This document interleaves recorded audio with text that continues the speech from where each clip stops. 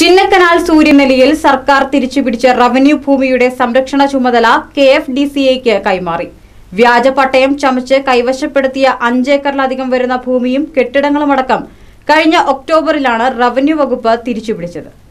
Chinnakanal സൂര്യനിലയിലെ കാലിപ്സം camp എന്ന സ്ഥാപനം പ്രവർത്തിച്ചിരുന്ന അഞ്ചേക്കർ സ്ഥലവും മറ്റ് കെട്ടിടങ്ങളുമടക്കം സംരക്ഷിക്കുന്നതിന് സംരക്ഷണ ചുമതല മാത്രം നൽകി കൈമാറുന്നതിന് ഇന്നലെയാണ് ഇടുക്കി ജില്ലാ കളക്ടർ ഉത്തരവ് നൽകിയത്.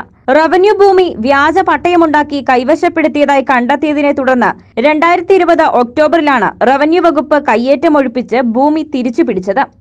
കെട്ടിടമടക്കം നശിക്കാതിരിക്കുന്നതിന് കെ എഫ് ഡി സിക്ക് കൈമാറാൻ സബ് കളക്ടർ ജില്ലാ കളക്ടർ സമർപ്പിച്ച റിപ്പോർട്ടിൽ പരാമർശിച്ചിരുന്നു. ഇതിന്റെ അടിസ്ഥാനത്തിലാണ് ഇടുക്കി ജില്ലാ കളക്ടർ നടപടിക്രമങ്ങൾ പൂർത്തീകരിച്ച് ഉത്തരവ് നൽകിയത്. ഇതിനെ തുടർന്ന് കരാറിൽ ഒപ്പുവെച്ച് സംരക്ഷണ ചുമതല K F D C division manager Johnson ഏറ്റെടുത്തു. പതിനൊന്ന് പത്ത് രണ്ടായിരത്തി ഇരുപതിൽ സർക്കാരിലേക്ക് ഏറ്റെടുത്ത ആനയിറങ്ങൽ ക്യാമ്പും കലിപ്സോ ക്യാമ്പും നിലനിൽക്കുന്ന സ്ഥലം.